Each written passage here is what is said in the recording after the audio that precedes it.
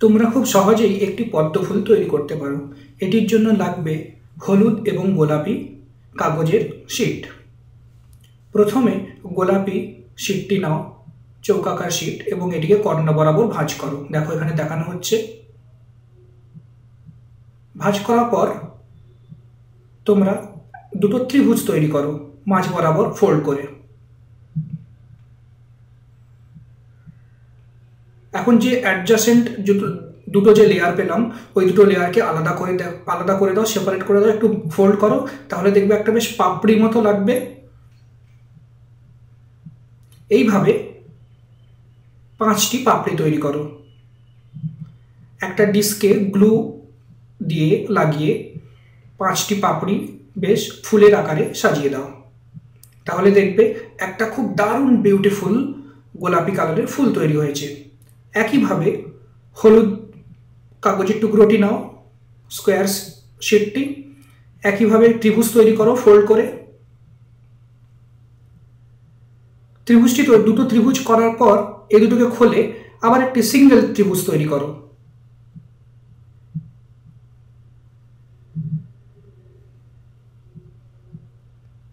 দেখো, একইভাবে আমরা একটা পেটাল বেস দেখতে পাচ্ছি, দুটো পেটাল তৈরি হয়েছে। পেটাল দুটি প্রান্ত। এন্ড টাক করে দাও। কিছুটা গ্লু ব্যবহার করে।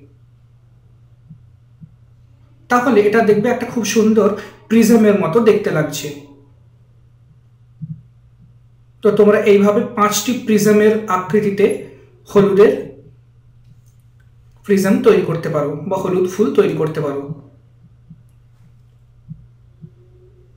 এখন এই পাপড়িগুলি নিচের দিকে গ্লু ব্যবহার করে এক অপরের সাথে জুড়ে দাও।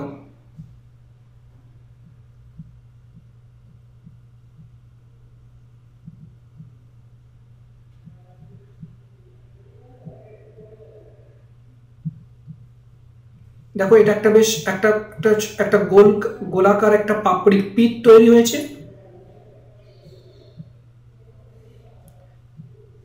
এখন গোলাপি কালারের ফুলগুলি, ফুলটিতে মধ্যিখানে কিছুটা গ্লু ব্যবহার করো এবং গ্লু ব্যবহার করে যে হলুদ পিকটা পিসটা তৈরি করেছ, এটা বসিয়ে দাও।